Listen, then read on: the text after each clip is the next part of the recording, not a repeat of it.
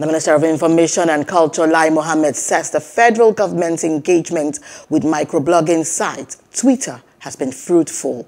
And while receiving the United States Deputy Assistant Secretary of State for African Affairs, Akunna Cook, in his office in Abuja, Mohammed explained that the federal government had banned Twitter because certain persons were using the microblogging site to cause disunity in the country.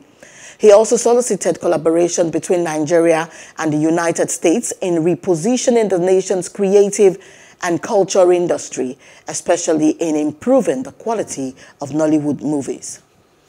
Hello. Hope you enjoyed the news. Please do subscribe to our YouTube channel and don't forget to hit the notification button so you get notified about fresh news updates.